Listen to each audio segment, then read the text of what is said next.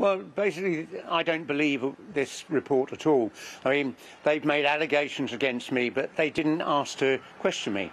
And to, to make serious allegations against someone without questioning them about whether they'd done this or not, I mean, I think it's outrageous. Um, you know, I've been accused of saying Hitler was a Zionist. This lie's gone round and round for years. In the 1930s, Hitler supported Zionism, and I never get I, the Tory press coming to say, did you actually say Hitler was a Zionist? Of course I did. Did. You said Hitler supported Zionism. It's pretty clear what you said.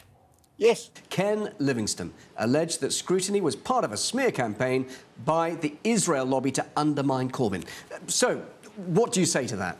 Well, I mean, almost anyone who criticises Israel's policy toward the Palestinians is denounced being anti-Semitic. But the simple thing, it was all being ramped up because the establishment was terrified.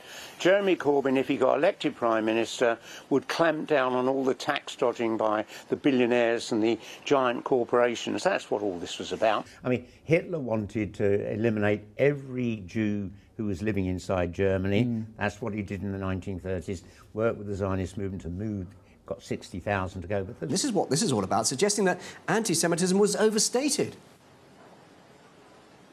And it was. Sheikh Yusuf al-Qaradawi is a Muslim cleric turned TV star in the Arab world, renowned for anti-Semitic views.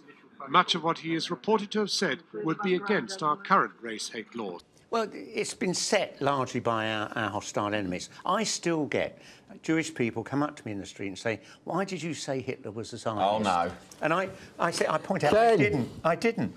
I but Ken. this went round the world. I wasn't even going to bring that up, Ken. you brought it up yourself. But I, I mean, literally, I mean, where's the detail of all of this? That's what this is all about. It's not about anti-Semitism. It's about preventing a progressive government. Thank you very much.